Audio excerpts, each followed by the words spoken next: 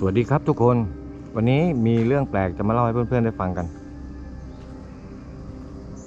เพื่อนๆเห็นสารที่มีเสาเหล็ก ตรงนี้อยู่ไหม ครั้งหนึ่งเนี่ยสารเนี่ยเคยตั้งอยู่ที่พื้น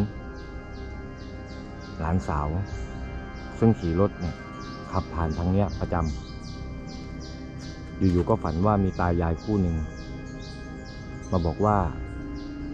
อยากอยู่บนที่สูงสูงๆบ้าง ฝันอยู่อย่างเงี้ย หลายครั้งติดนะหลานสาวเนี่ยก็เคยได้พูดในความฝันว่านะก็ลองให้ถูกหวยดูสักหน่อยนะแล้วจะทำให้ก็ตอนนี้ยังไม่เสร็จสมบูรณ์นะน่าจะต้องการบันไดอีกยังไงเดี๋ยวจะทำให้เหล็กนี้ผมเป็นคนเชื่อมเขาเองนะครับตายายก็มาบอกเลขถูกตรงๆเลย สองสามงวดแล้ว แต่ว่าถูกไม่เยอะนะ แต่เป็นเรื่องที่แปลกมาก ตรงนี้มีพึ่งหลวงอาศัยอยู่ในศาลด้วย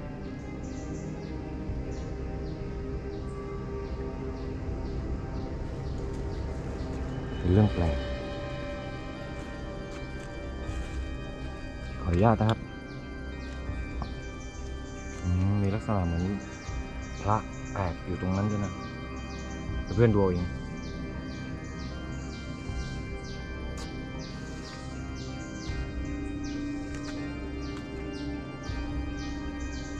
ามแยกนี้ก็จะแบบ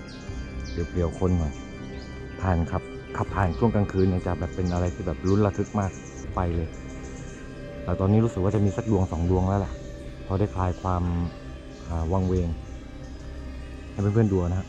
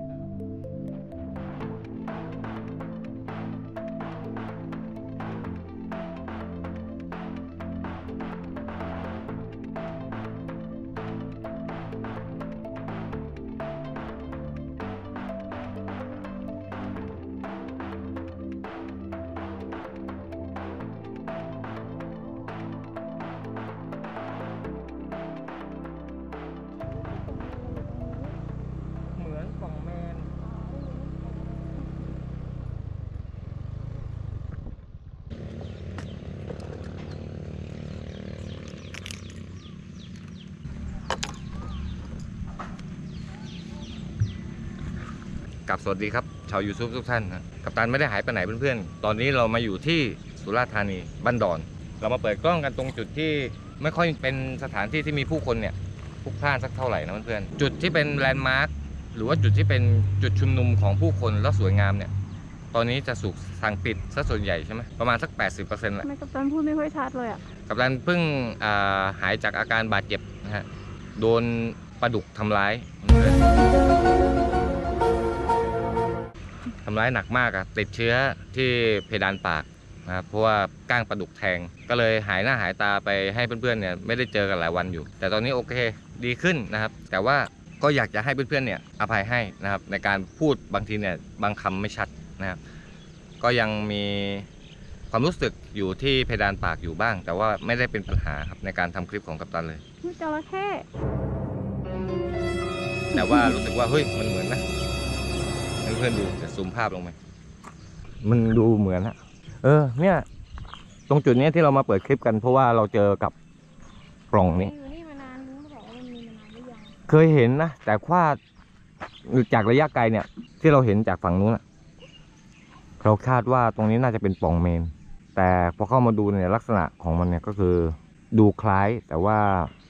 อ่าสิ่งปลูกสร้างรอบๆเนี่ยก็คือยังไม่มีอะไรที่บ่งบอกว่าเป็นปล่องเมน แต่ด้วยความเก่าแก่ จากอิฐที่ก่อสร้างขึ้นไป ผมคิดว่าน่าจะไม่ต่ำกว่าร้อยปีแน่นอน เดี๋ยวเราจะเข้าไปดูพื้นที่บริเวณชุมชนด้านในด้วยเพราะว่าตรงนี้ตั้งแต่ตรงจุดนี้เป็นต้นไปเนี่ยค่อนข้างที่จะดูเก่าแก่มากๆ ผมยังไม่เคยเห็นบอกตามตรง เดี๋ยวเราไปดูกัน ได้เปิดโลกทัศน์กันวันนี้นเพื่อนๆเขาเรียกชุมชนฝ่ายท่านะไปไปดูกันดีกว่าข้างใน อเราเข้ามาตรงจุดแรกเนี่ยเราก็จะพบกับศาลานะครับ แล้วก็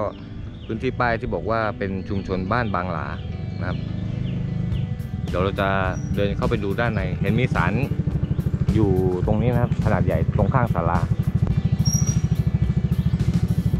ผมบอกตรงยังไม่เคยเข้ามาพื้นที่ตรงนี้เลยเพื่อนๆนี่เป็นครั้งแรกขออนุญาต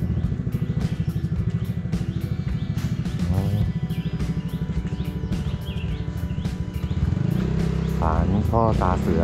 บ้านบางหลาดูสวยงามมากเพื่อน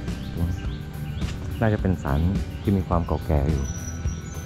มีร่องรอยของการมาจุดประทัดแก้บนด้วย ขออนุญาตนะครับ มีสะพานข้ามเป็นคลองอยู่ตรงนี้เพื่อนๆ ซึ่งเป็นสะพานน่าจะเก่ามาก เดี๋ยวเราจะลองเดินขึ้นไปดูด้านบนเผื่อจะเห็นวิว ของคลองเส้นนี้นะครับ เป็นชุมชนของคนในบางจริงๆนะครับพื้นที่แรกเลยที่เราเข้ามาในสุราษฎร์ก็มาที่นี่กันเลย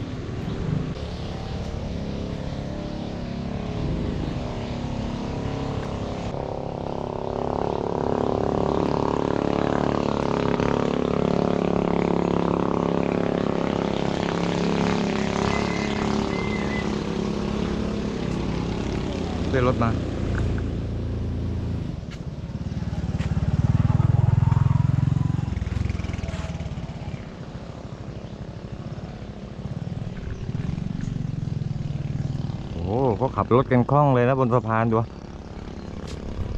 เป็นทางเล็กๆเข้าไป ความปลอดภัยเนี่ย น้อยมากด้วยต้องใช้ความชำนาญจริง ๆ นะครับ แบบเนี้ย เนี่ยจะมีเส้นทางที่เป็นเส้นทางปูน แผ่นปูนเนี่ย ไว้สำหรับอ่าสำหรับเส้นทางของคนที่อยู่ในอีกเส้นหนึ่งนะครับ นอกเหนือจากสะพานหลัก สุดยอด อ๋อ นี่คือ ช่วงรอยต่อของอาจุดที่เป็นทางแยกของน้ำที่เป็นอ่าพื้นที่ที่เข้ามาในชุมชนบ้านบางหลา คือมันจะมีหลายชุมชนนะครับตรงเนี้ยก็เรียกฝ่ายท่าฮะไหนไหน ตัวใหญ่เหรอมุดตรงไปแล้วนะเห็นไหมน้ำฟุ้งๆนะเมื่อกี้ว่าอยู่ไหนน้ำไหลนู่นนู่นเป็นฝูงเลยโอ้ปลาขยงใช่เหร ออืมปลาขยง ไม่เห็นมีเนี่ยเลยมันมีปรากฏ เยอะเลยนะอ่าปรากฏปลาขยงปรากฏเพื่อนๆดูไม่ค่อยชัดเจนเท่าไหร่ เป็นฝูงปรากฏอืมมีเรือมาเกยอยู่ตรงนี้ลำหนึ่งนะเพื่อนๆน่าจะใช้งานไม่ได้แล้วล่ะแต่ว่าคือ น่าจะเอามาจอดทิ้งเอาไว้นะครับ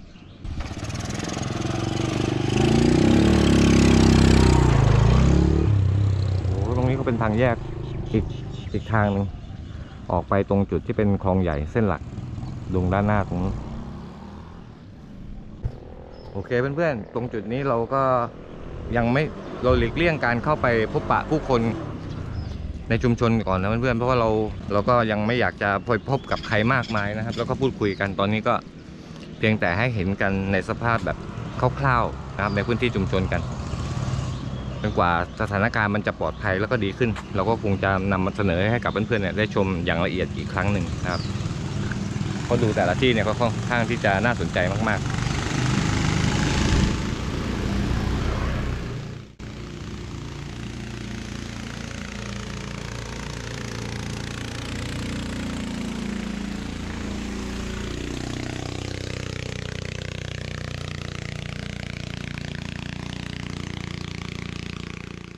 ชนที่เก่าแก่ แล้วก็มีพื้นที่ที่เป็น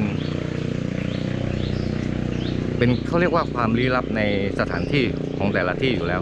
เดี๋ยวเราไปดูกันนะว่าเราจะพาเพื่อนๆไปที่ไหนกันบ้าง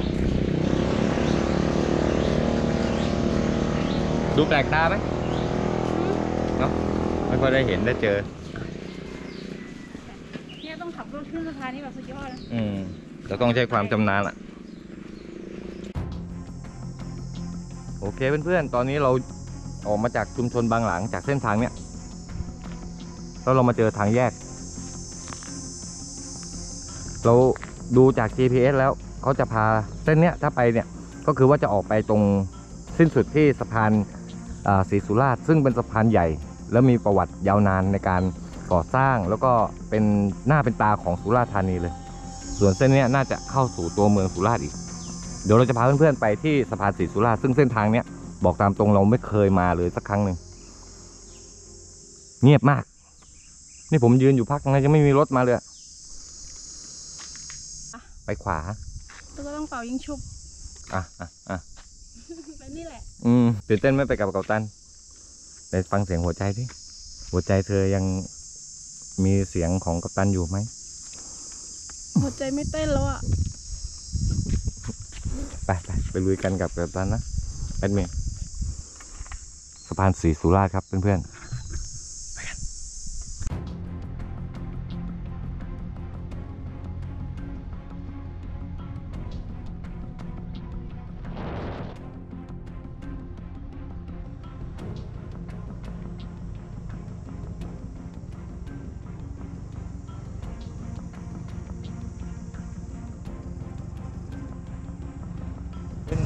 ทางคลองร้อยสายที่เขาเรียกร้อยสายจริงๆเนอะรถจะลบด้วยถนนล่างบางใบไม้ ถนนเปิดระเบิดเปิดร่างอ่าระบบไว้นะถนนเปิด ถนนเปิดล่างบางใบไม้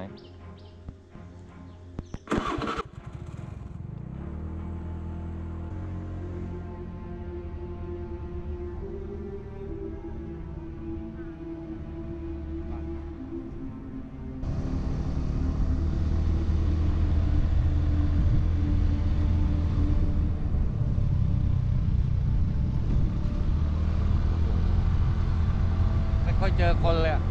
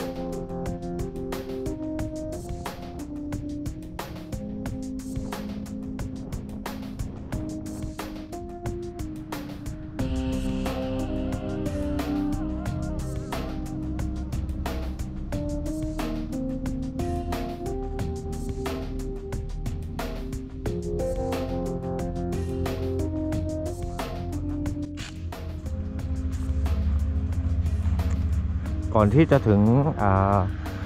สะพานศรีสุราษฎร์เพื่อนๆเราก็แวะเข้ามาตรงจุดเนี้ยเพราะว่ามองเห็นหอระฆังหรือว่าน่าจะเป็นโบสถ์ด้วย อยู่แต่ไกลเลยเห็นแต่ไกลเลย ตรงนู้นจะเป็นศาลาริมน้ำคุณเป้ไปดูตรงตรงศาลาริมน้ำไหมตรงนี้ก็จะเป็นโรงเรียนนะฮะเป็นวัดฮะเดี๋ยวเดี๋ยวเอาเอารถไปเลย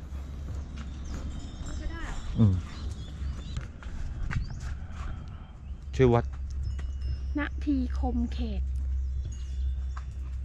เมื่อกี้อืมเห็นแต่ความสวยงามของหอระฆัง ก็เลยไม่ได้สังเกตป้ายวัดนะครับ ชื่อโรงโรงเรียนวัดนาทีคมเขต คลองชนากเพื่อนๆเดี๋ยวไปดูตรงศาลาริมน้ำ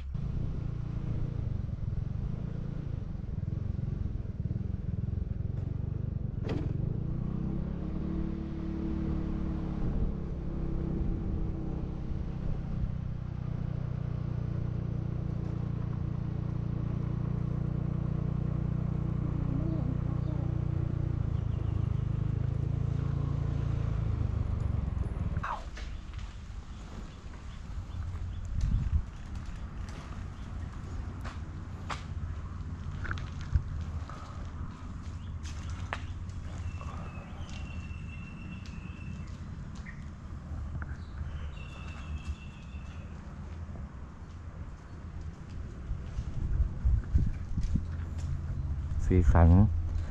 ตะการตามากๆนะครับ ขออนุญาตนะครับ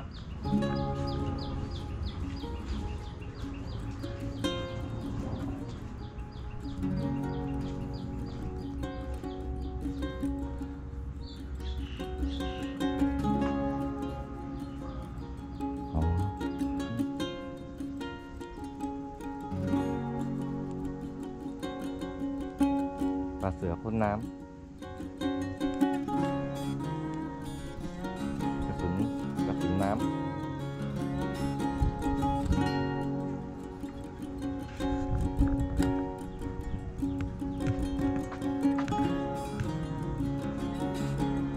ปลาสีวลี พระแม่ธรณีบีบมวยผม องค์นี้แววตาสมสมจริงมาก แววตาสวยมาก